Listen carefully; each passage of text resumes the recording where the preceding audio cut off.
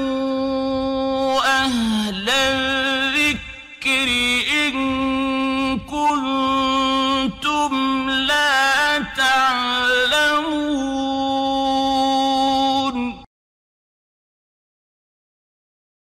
ওয়ালাইকুম আসসালাম রহমতুল্লাহ বরকাত কোন প্রশ্ন করেছেন সৌদি আরবেতে একুশ তারিখে ঈদ আর বাংলাদেশে বাইশ তারিখে ঈদ আহ, তো আরাফার দিনটা কখন? একুশ না বাইশ তারিখে হবে? অনেকে বলছে একুশ তারিখে রাখলে গুণা হবে।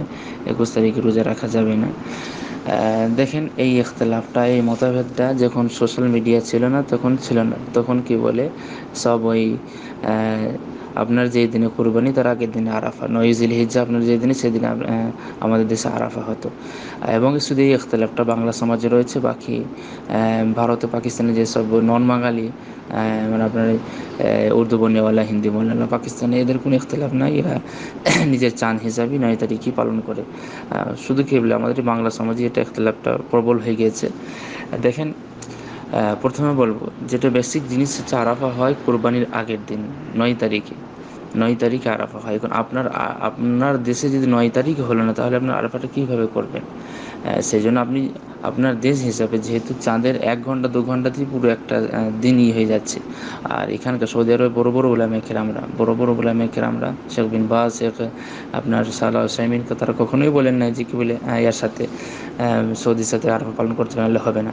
বরং তারা চাঁদের চাঁদেরই রেফারেন্স দিয়েছেন যে সমস্ত দেশের একটা ভিন্ন চাঁদের মাতলা অর্থাৎ চাঁদ যখন ওঠে তারা একটা ই দিয়েছেন তারা যে চাঁদ ওঠার একটা ভিন্ন ভিন্ন সময় আছে, অত ভিন্ন ভিন্ন সময়ে তারা ই করবে।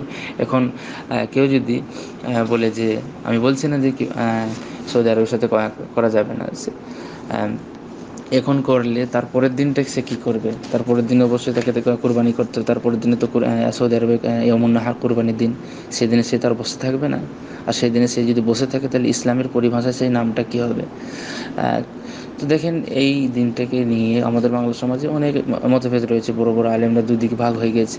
বাংলাদেশে যদি মার্কেজ জমিতে আহলে দেশকে দেখেন তারা তাদের মত।